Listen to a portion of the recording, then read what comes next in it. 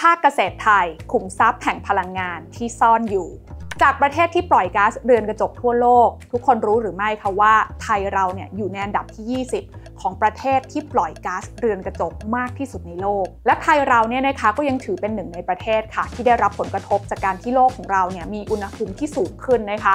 ตัวอย่างก็อย่างภัยพิบัติต่างๆ ที่ไม่ได้ส่งผลกระทบ แต่แค่มนุษย์เท่านั้น แต่ยังส่งผลกระทบต่อสิ่งมีชีวิตอื่น ๆ แล้วก็ระบบนิเวศด้วย ทั้งนี้เนี่ยนะคะปฏิเสธไม่ได้เลยค่ะว่า วิกฤตด้านสิ่งแวดล้อมเนี่ยนะคะ ส่วนหนึ่งเนี่ยมาจากเรื่องของพลังงานค่ะ ซึ่งสาเหตุหลักๆนะคะที่ทำให้เรื่องของพลังงานนั้นเป็นปัญหาขึ้นมาเนี่ยก็มาจากการปล่อยก๊าซเรือนกระจกออกสู่โลกอย่างมีนัยสำคัญ แต่แน่นอนค่ะว่าในโลกยุคนี้เนี่ยพลังงานก็มีความจำเป็นนะคะ เพราะฉะนั้นแล้วเลยเป็นโจทย์หลักค่ะว่า เราจะสร้างพลังงานอย่างไร ให้สามารถรักษาสมดุลด้านสิ่งแวดล้อมไปได้พร้อม ๆ กัน แต่คำตอบของเรื่องนี้ต้องบอกว่าประเทศไทยเราโชคดีค่ะ เพราะเราอาจหาทางออกได้ใกล้ตัวกว่าที่คิด อย่างที่ทุกคนทราบกันดีนะคะว่าประเทศไทยของเราเป็นประเทศเกษตรกรรมค่ะ และภาคเกษตรของเราไม่ใช่แค่แหล่งผลิตอาหาร ที่มั่นคงของทั้งไทยและของโลกเท่านั้นนะคะแต่ของเหลือจากภาคเกษตรเนี่ยอาจกลายเป็นขุมทรัพย์ด้านพลังงานที่สร้างโอกาสใหม่ให้กับไทยเราได้ แล้วภาคเกษตรกรรมจะเป็นโอกาสสำคัญทางพลังงานของไทยอย่างไร ลงทุนแมนจะเล่าให้ฟัง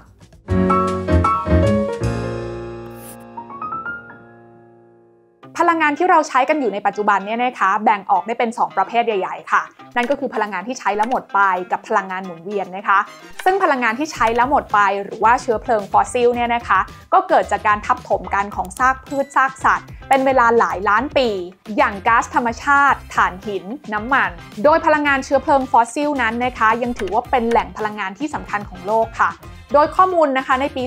2023 เนี่ยได้บอกเอาไว้นะคะว่าโลกของเราเนี่ยมีการใช้พลังงานจากเชื้อเพลิงฟอสซิล สูงถึง 81.5%ซึ่งเรื่องนี้เนี่ยแหละค่ะถือเป็นหนึ่งในสาเหตุสำคัญของการเกิดภาวะโลกร้อน ส่วนพลังงานอีกประเภทหนึ่งเนี่ยก็คือพลังงานหมุนเวียนค่ะ พลังงานประเภทนี้นะคะจะใช้แล้วไม่หมดไปเนื่องจากเราสามารถหาทดแทนหรือว่าผลิตขึ้นมาใหม่ได้นะคะ จากต้นกำเนิดที่มีหลากหลายแหล่งไม่ว่าจะเป็นแสงอาทิตย์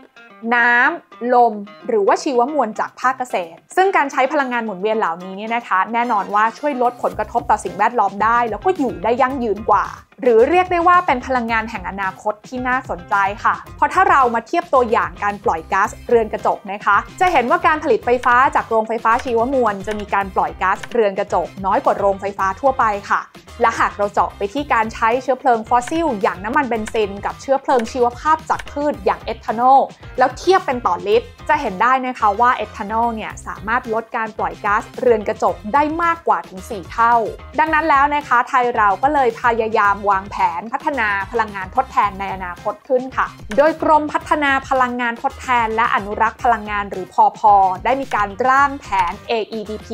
2024 นะคะ ซึ่งให้ความสำคัญค่ะกับการส่งเสริมการผลิต และการใช้พลังงานทดแทน ตามศักยภาพที่มีอยู่ในประเทศ โดยมีการตั้งเป้านะคะว่าภายในปี 2580ไทยเราจะต้องมีการใช้พลังงานทดแทนและพลังงานทางเลือก ขึ้นมาเป็น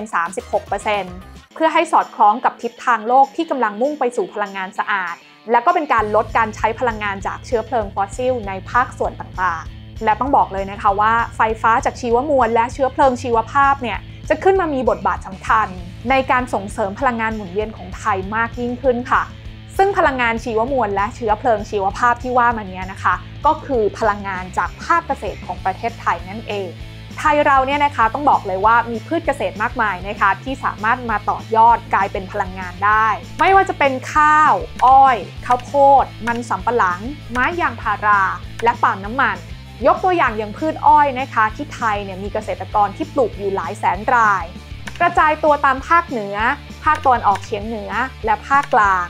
คิดเป็นผลผลิตที่ได้เนี่ยประมาณ 90-100 ล้านตันต่อปี โดยไทยเราเองเนี่ยถือเป็นประเทศที่ส่งออกน้ำตาลติดท็อป 5 ของโลก เพราะฉะนั้นลองคิดภาพตามดูสิคะว่าเราเนี่ยจะมีวัสดุเหลือใช้จากการผลิตน้ำตาล ที่สามารถต่อยอดกลายไปเป็นประโยชน์ได้อีกมากขนาดไหน และสิ่งนี้ก็เกิดขึ้นในพืชเกษตรอื่น ๆ เช่นกันค่ะ และนั่นก็เลยกลายเป็นโอกาสของไทยนะคะ ที่เราเนี่ยมีจุดแข็งทางด้านภูมิศาสตร์ ที่เอื้อต่อการเป็นประเทศเกษตรกรรม และนี่ก็เป็นข้อได้เปรียบนะคะ ที่ทำให้เราเนี่ยมีแหล่งเชื้อเพลิงเสริมที่สามารถสร้างเป็นพลังงานได้มหาศาล และนอกจากนี้ก็ยังถือว่าเป็นการลดภาระต้นทุนในการจัดการของเหลือจากภาคเกษตร ที่เรียกว่า waste to energy อีกด้วยค่ะ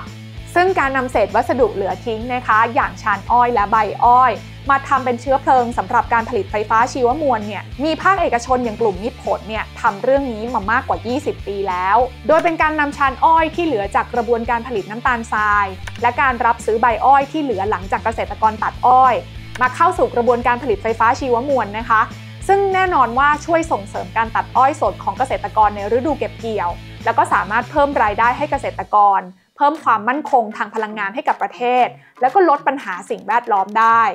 โดยที่ผ่านมานะคะกลุ่มมิตรผลนั้นได้รับซื้อใบอ้อยเป็นจำนวนรวมแล้วกว่า 1.7 ล้านตัน และสามารถสร้างรายได้เสริมให้กับเกษตรกรได้กว่า 2,500 ล้านบาท นอกจากนี้นะคะยังมีพลังงานหมุนเวียนอีกหนึ่งประเภทที่สามารถผลิตได้จากอ้อย นั่นก็คือเอทานอลค่ะ ผ่านการใช้กากน้ำตาลหรือโมลาสที่เหลือจากกระบวนการผลิตน้ำตาล หรือสามารถนำน้ำอ้อยหรือมันสำปะหลังมาทำเอทานอลได้เช่นกัน ซึ่งเอทานอลเนี่ยนะคะก็สามารถนำไปใช้เป็นส่วนผสมในการผลิตเชื้อเพลิงชีวภาพ อย่างเช่นนำไปเป็นส่วนผสมในน้ำมันแก๊สโซฮอลที่ใช้ในรถยนต์ หรือนำไปใช้เป็นวัตถุดิบสำหรับผลิตน้ำมันเครื่องบินชีวภาพ และเอทานอลเองเนี่ยก็ยังสามารถนำไปเป็นส่วนประกอบในอุตสาหกรรมอื่นๆ ที่เราอาจจะคาดไม่ถึง ที่เป็นผลิตภัณฑ์ไบโอเบสเช่น อุตสาหกรรมเภสัชกรรม อุตสาหกรรมเครื่องสำอาง อุตสาหกรรมอาหาร อุตสาหกรรมพลาสติกชีวภาพ ซึ่งทั้งหมดนี้เนี่ยตอบรับกับความต้องการของผู้บริโภคยุคใหม่ ที่เริ่มมองหาผลิตภัณฑ์ที่เป็นมิตรต่อสิ่งแวดล้อมได้อีกด้วยค่ะ ดังนั้นอาจพูดได้นะคะว่า พลังงานหมุนเวียนจากภาคเกษตร ถือเป็นอนาคตของพลังงานไทยที่ไม่ใช่เรื่องไกลตัวอีกต่อไป เพราะถือเป็นพลังงานทางเลือกนะคะ ที่ไทยเราเนี่ยสามารถพัฒนาแล้วก็สร้างเป็นความมั่นคงให้กับประเทศตัวเองได้ ทั้งยังทำให้เกิดระบบเศรษฐกิจหมุนเวียน ระหว่างเกษตรกรและอุตสาหกรรม ยกระดับคุณภาพชีวิตของเกษตรกรไทย ให้มีอาชีพที่มั่นคง และมีรายได้เพิ่มขึ้น และอุตสาหกรรมเนี่ยนะคะ ก็มีส่วนร่วมในการสร้างความมั่นคงให้กับประเทศ เปลี่ยนแปลงสิ่งที่ไร้ค่า เป็นสิ่งที่มีคุณค่า ต่อยอดเป็นพลังงาน คืนสู่สังคม และสิ่งแวดล้อม ซึ่งทั้งหมดนั้นนะคะถือเป็นโอกาสที่น่าสนใจค่ะ ที่พลังงานหมุนเวียนจากภาคเกษตรไทย จะมีส่วนช่วยลดปัญหาสิ่งแวดล้อม และเป็นเสมือนขุมทรัพย์สำคัญนะคะ ที่จะนำไปสู่โอกาสแห่งพลังงานทางางเลือกของประเทศไทยในอนาคต